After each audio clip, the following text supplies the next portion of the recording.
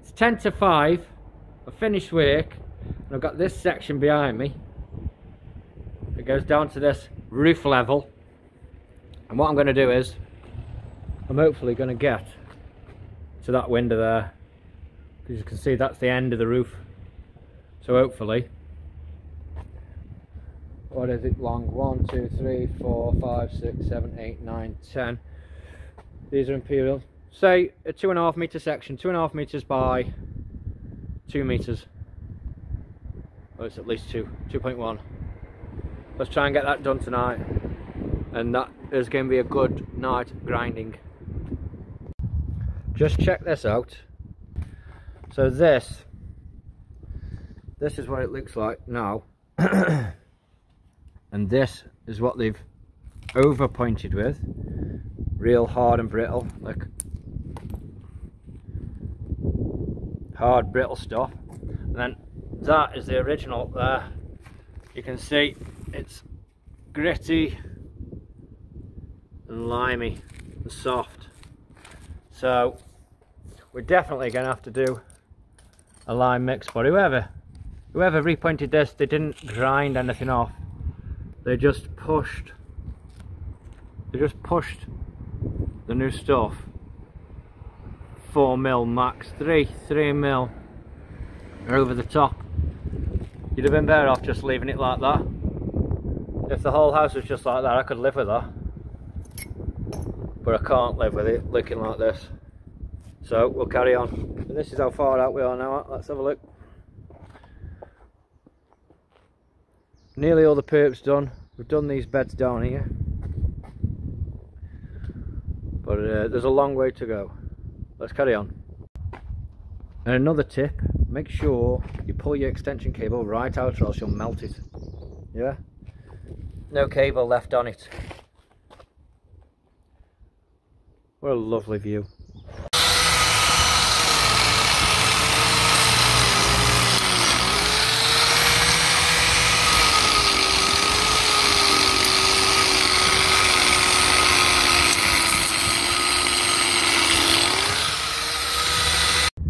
right we're right at the top by the soffits and you can see that's the original finish. Struck and a bit of penny roll. Very nice. Shan't be doing that though. I don't like that. Not for me.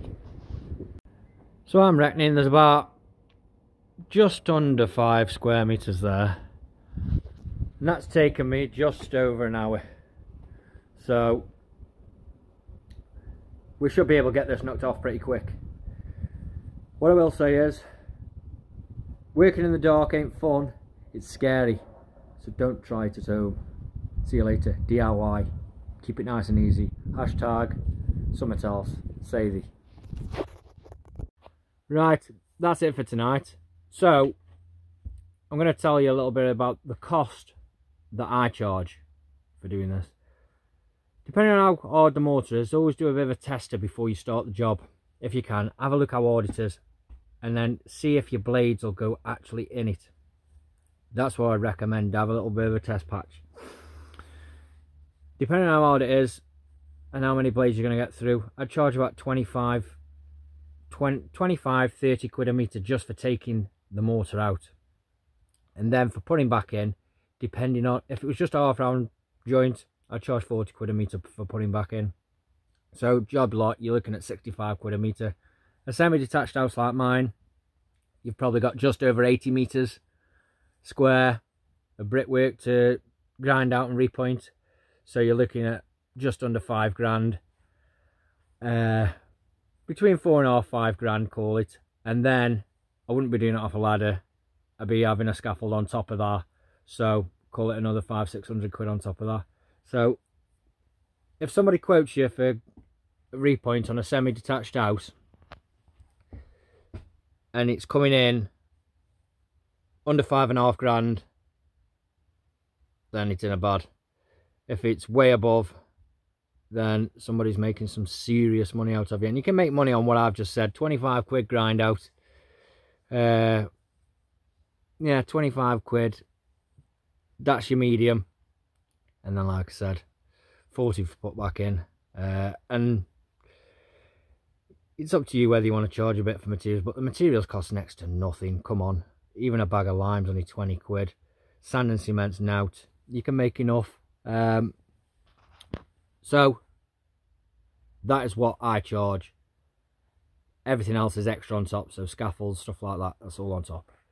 Keep it nice and easy for the final time. And tomorrow, oh man, what a day I've had today. The mortar's just absolutely cack. I mean, stiff as a board. It doesn't matter what you do to it.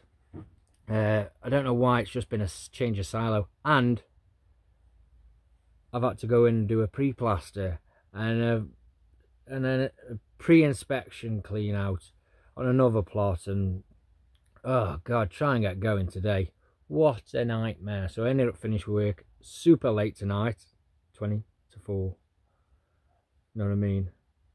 Keep it nice and easy folks gentlemen